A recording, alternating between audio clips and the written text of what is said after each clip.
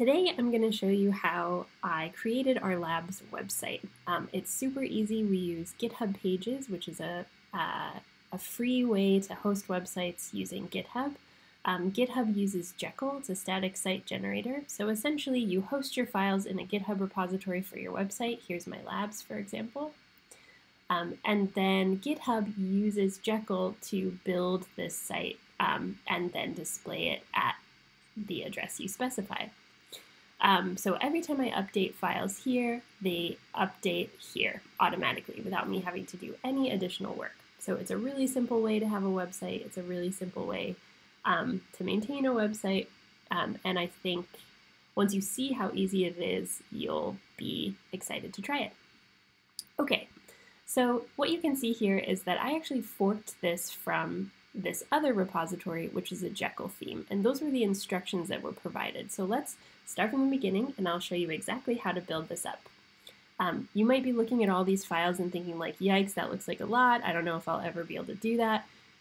You will. These, I did not create most of these files. They came with the theme and there's a very small number of them that we actually had to edit. Um, so I'm going to show you exactly how to do that and exactly which ones. Okay, so first themes. There's a million Jekyll themes available. A ton of them are available free, so I highly recommend browsing them and finding one you like. Here, I'll just go to the themes really quickly to show you that there's a ton of different themes you could use for your website. Um, I like the contrast theme. That's what I use for my personal website and for my lab. Um, it doesn't look very much like it does here, but that's because it's undergone some changes. So let's click on the live demo just to see what it looks like so you can see. So it's telling us that the blog title will appear here. We have some nav buttons over here. Um, here's all the blog posts, and then here's some um, social media links. So all I did was take that theme and just customize a couple of things, fill in some blanks to get my own stuff to show up here. So I'll show you that now. Um, so let's actually go to the About tab. Um, we could similarly have clicked Get Contrast on GitHub, but we're going to start with About. So it says just fork this repository to install this theme and adjust the config file to use with GitHub pages and your page is done. So it's literally this simple, but if you've never done it before, you might be wondering like, how do I even do that? I'll show you. Okay. Okay, so what we want to do here is fork this repository. So I'm going to click this little fork button. And remember, that's what, let me go back here. That's what the About page said we should do. Um, so it says just fork this repository and adjust the config file and your page should be done. Okay, so let's press the fork button. That's this little button up here, fork. And it says I've already forked this for my labs website. Let's fork it again for my own account. And I actually just deleted my personal website and I'm gonna rebuild it right now just so you can watch me do it. Um, it's literally that easy. So now it's saying it's forking this repository. Great. Um, so and the branches even with the master. Cool. Okay, so let's look and see what we actually have here are a bunch of files. Um, so the whole website was already built for us. Um, and what we can do is actually go to the settings. And I'm going to rename this repository. So on GitHub, if you want to have a personal website, you automatically get one at the at your username, kschuler, that's my username, .github.io. If we try to visit there, I just deleted my whole website. That's why it says there's not a GitHub Pages site here. There's nothing there right now. Um, so what we need to do is name our repository exact, exactly that, github.io. That's the name that everybody gets for free. GitHub will recognize that this is supposed to be your website and it will use this repository as your website and the files will be available there. So let's rename our repository this so now you can see that I now have kschuler at kschuler.github.io. That's the name of this repository, and it's been forked from the contrast theme, which is what we just did. Now, there's some things that I'm going to want to customize because I don't want this to be exactly the same as this site, right? Um, which is available here. So I'm going to just adjust this. This is actually going to be Katie's personal website. And then it should be available at kschuler.github.io io. Okay, so I made those changes. And now I'm going to click on, actually I'll go back to where it said site not found and we'll refresh. and we can see that the blog is available there. So I literally did nothing except fork this repository, change the name to my uh, GitHub address that everyone has, yourusername.github.io, um, and now I'm hosting this website. So the next thing we want to do is customize it. So for my website, um, let's do a couple of customizations. Let's just keep following the installation instructions, fork this repository, done, adjust the config file. Okay, so let's find the config file. Here it is. It says I should adjust this file um, to create my own website. So click this little edit this file button. And I'm doing all of this in the GUI on GitHub. I'm doing that on purpose because I think if you already know how to use Git from your computer or from the GitHub desktop, you'll know how to do these things that way. But people who don't have any experience with that, I think it's helpful that they can see that you don't actually need to do any programming. You can just edit all the files right in the GUI, um, and it works great that way too.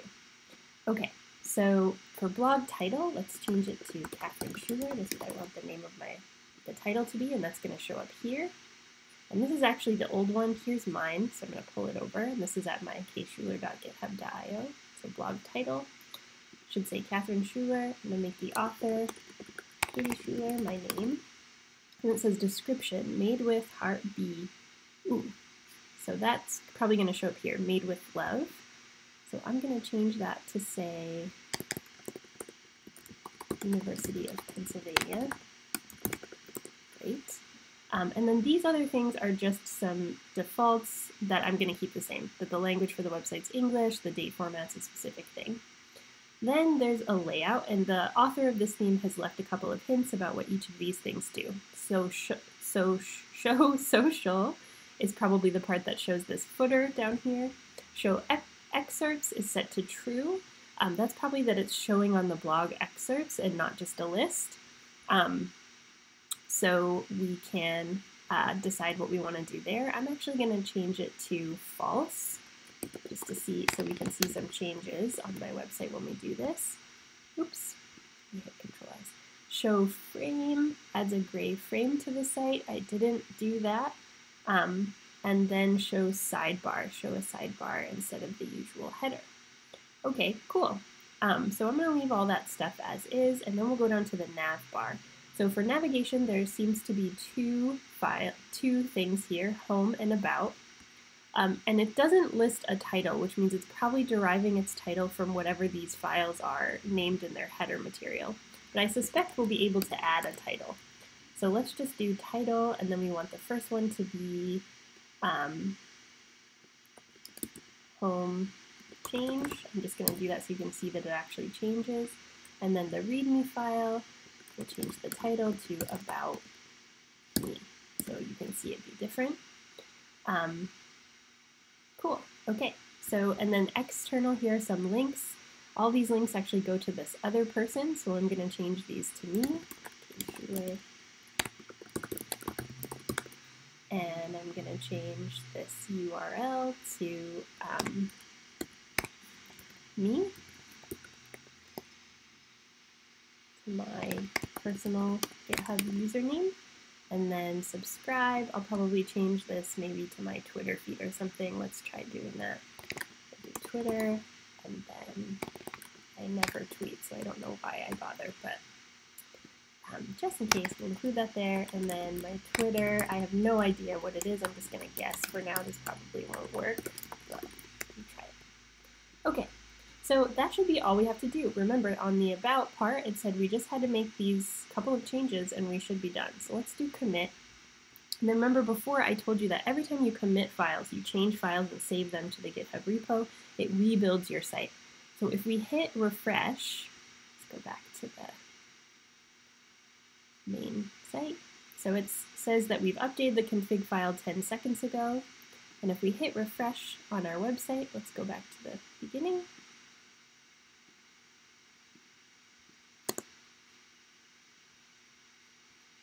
Waited a couple seconds for it to update. Let's go back to the config file so we can see whatever changes we made. Okay, so the title up here should change to Kathryn Schuler. Let's refresh again, see if it had a chance to build. No.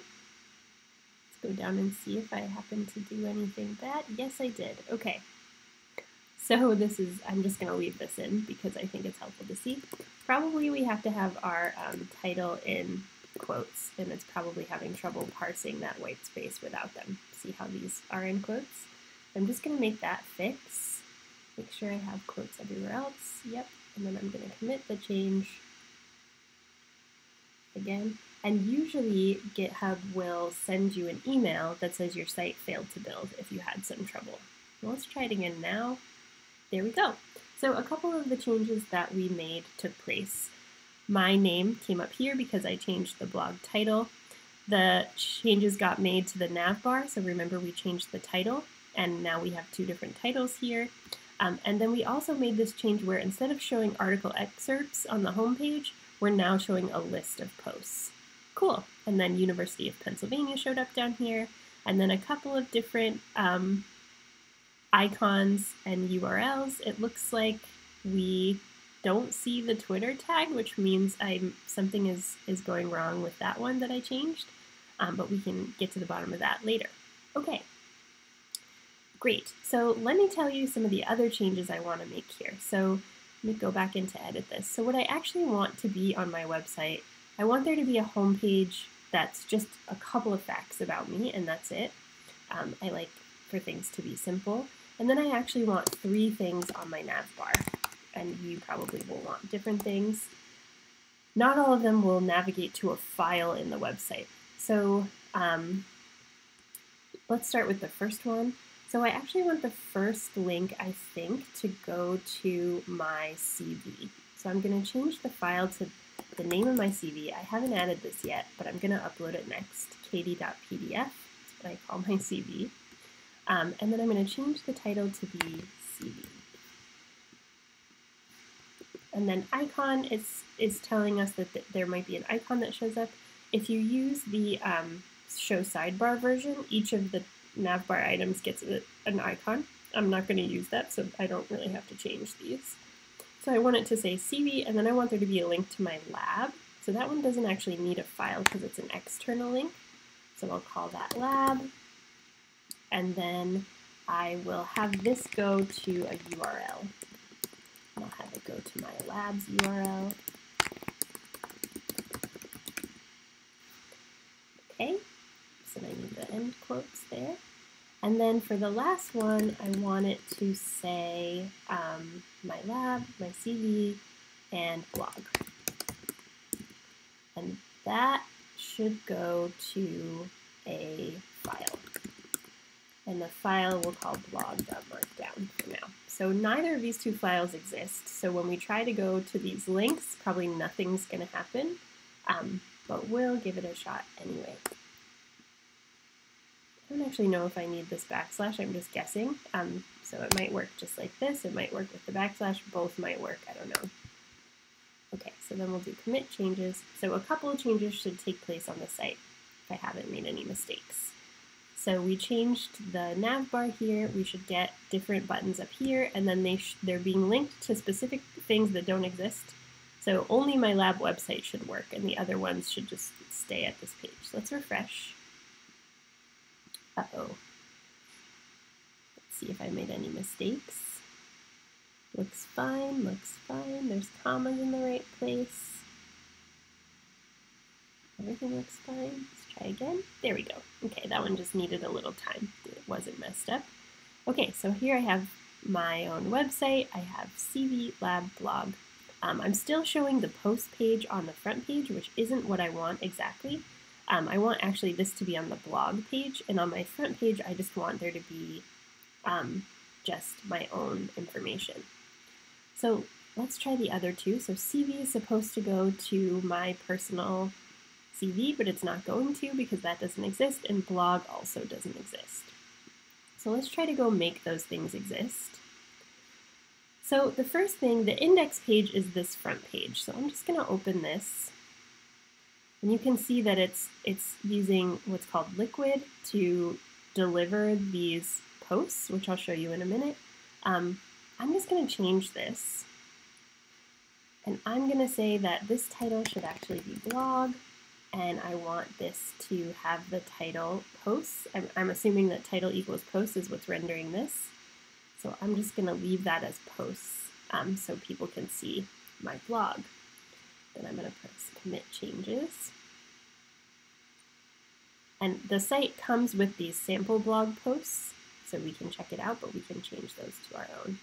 So I also actually want to go back and make another change, because remember I told the config file that it should look in blog.markdown to make this happen. So I'm going to change the, this changes the name of the file and commit those changes.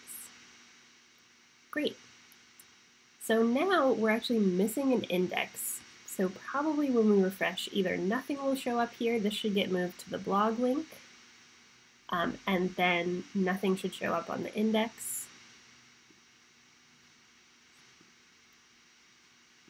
Give it a few minutes to load. Um, but sometimes the um, sometimes the README file renders. Okay, so while we're waiting for that, let's go ahead and create a new file. So I want to add an index file, because remember I said I want my front page to be like something about me. So I'm going to do index.markdown. You could also call it .html if you want to. And then at the top of the file, you need three dashes, and this is called the header material. Um, and that's where you can do tell it a couple of pieces of information. This is all Jekyll, so you can look into the Jekyll docs if you want to customize even further.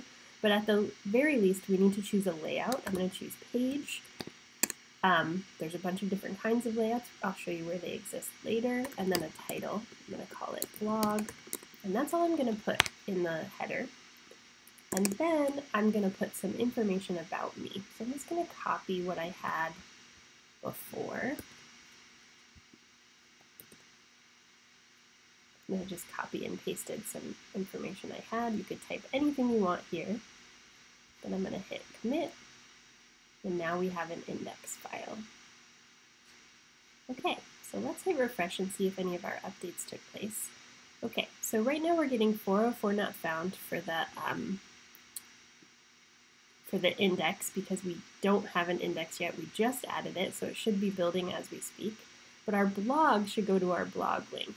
And once and that one's showing 404 too. Let me click on that again.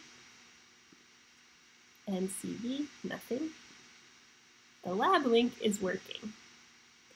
Okay, so I'm going to resist the urge to like re-record this where these mistakes don't happen because I think it's helpful to see how you troubleshoot and fix these things.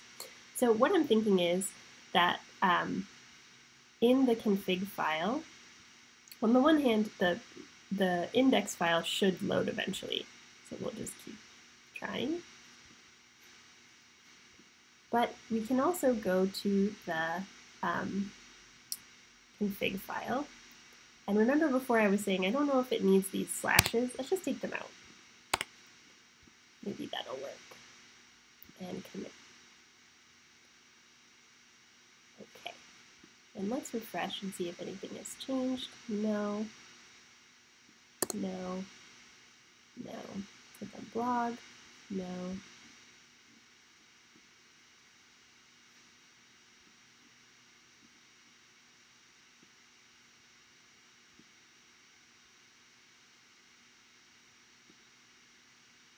Okay, there we go. So it just took a minute to load. So now we have, it's saying it's called title blog, which isn't exactly right. We can go and fix that. Um, over here we have blog CV. Okay.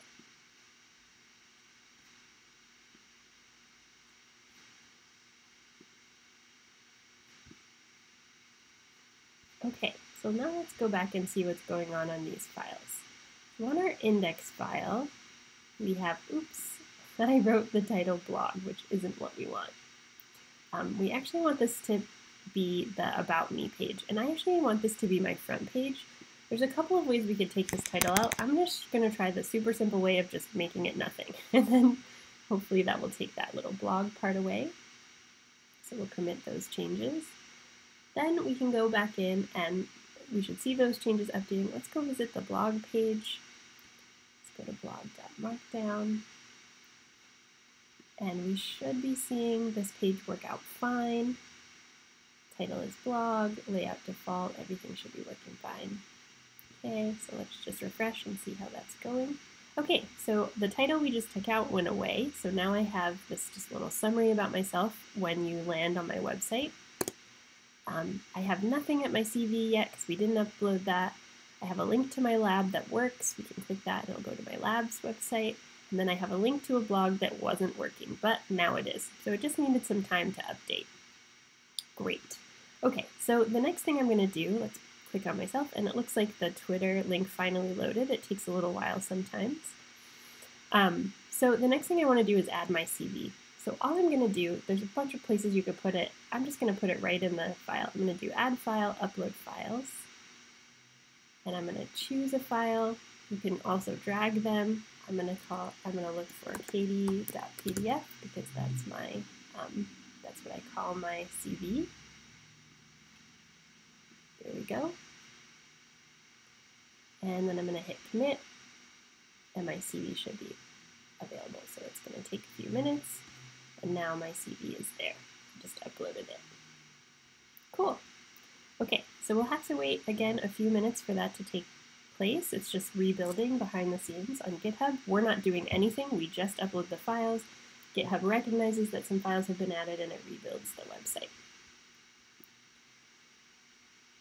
So we have CV, lab, blog, lab, CV. Let's refresh and see if the CV is showing up. Nope, not yet. Let's go back to the config file to make sure we've said the right thing. katie.pdf, that's what the file name is, so that's what should happen. Give it a few minutes. And it should refresh for us. Okay, so let's now, while we're waiting for the CV to update, let's think about the blog for a second. So if we go to blog, Remember I told you before that we are showing some of the just sample blog posts. So I'm going to show you how to update those. So those get stored inside this folder called posts. These are the three um, blog posts that exist. Let me go back to blog so you can see. Welcome to Jekyll, Markdown Examples, Advanced Examples. So blog posts are uh, in Jekyll are super easy. There's a prescribed way of doing them that will allow them to load. And this is how it works. So let's add a new file. Let's just look at one of them, for example. So we can see here, this is the um, advanced examples. So we'll click on that. Advanced examples. Um, so what we can do is just peek at this file. We'll do edit. So we want to look at what the header material looks like. Here we go. So this is just being written in Markdown. There's header material here. I'm going to hit copy. I'm going to go back to posts, and let's say we want to add a new post. When you do this, what you want to do is you have to give it the name of the date you want to appear. So I'm going to put today's date. Think it's like January 14th. It's 2021. 04, 01, 14. Might be the 15th or even later. Um, and then we'll give it uh, any title new post markdown. So Jekyll uses this date tag to apply a date here. We don't have to do anything else to get the date to show up. And then we want to add that header material. So I just copied it from the other one. Um, and we can change a couple of these. MathJax means it, it can write um, equations. I'm just going to leave it at true. Layout post means it's going to use the post layout, so it should it should make whatever we write down here look like this. So we'll leave that true. Categories is a list of categories. Um, they're not, I don't see them showing up anywhere on here, but they can be helpful later if you want to group things by category. So I'm going to call this GitHub um, and website. Actually, if you want to do two things, and here you have to do it like this, GitHub and website. Okay, and then I'm going to change the title to be our new post. Great. Okay, so then the last thing to do is just add some text. We can do any markdown, like a header, and then other text, link,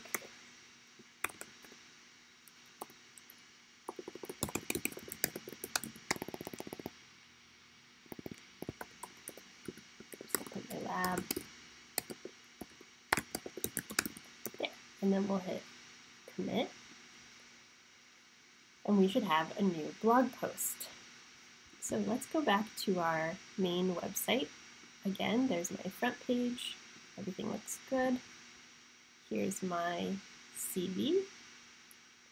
Here's my, still not showing up. Something is amuck there. We'll go back and look.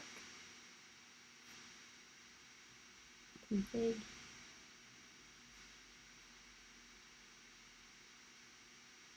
Should really be working. I'm not really totally sure why it's not.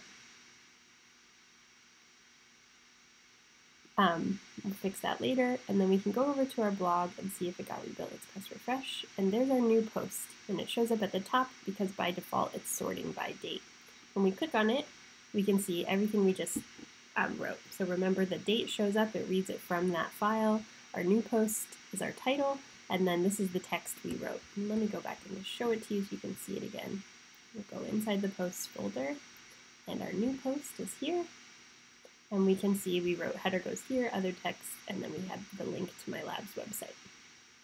Um, so that's all you have to do to create your website. You can go and look on Jekyll um,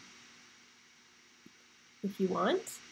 If you want to do more customization, you can learn how to do that. There's a couple of tutorials, like if you want to sort things by um, by category, um, by collection, all sorts of things you can do to customize, or you can just keep it simple and only make a couple of these small changes like we've done here.